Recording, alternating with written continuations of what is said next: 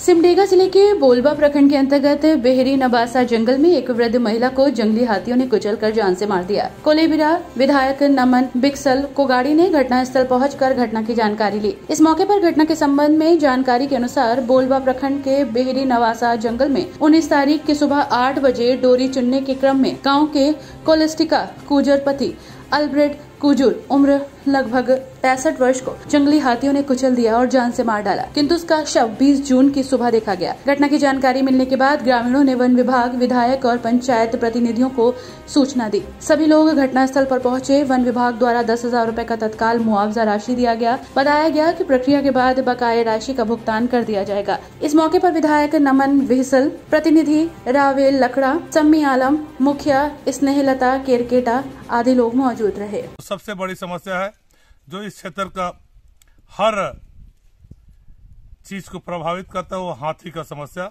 जी। आज कल ही यहाँ पर एक महिला को हाथी ने कुचल दिया। महिला डोरी चुनने के लिए गई थी। और जंगल में ही आमने सामने हुआ और उसको कुचल दिया गया। और आए दिन यहाँ हाथी का आतंक रहा है।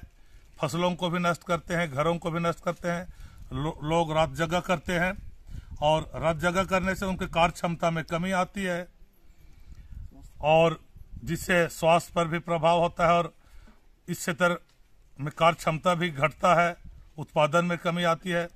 और कई लोग तो जंगल क्षेत्र के जमीनों में काम करना छोड़ दिए हैं, जिसके कारण गरीबी और बढ़ रही है, आमदनी लोगों का घट रहा है।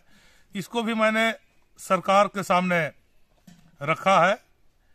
कि हाथियों का रहने और खाने का व्यवस्था आप लोग कीजिए। क्योंकि मैंने जो देखा है कि जब भी लड़ाई हो रही है हाथी और मानव के बीच में, वो सिर्फ़ खाने को लेकर है अगर और मानव और हाथी के बीच का टकराव कम होगा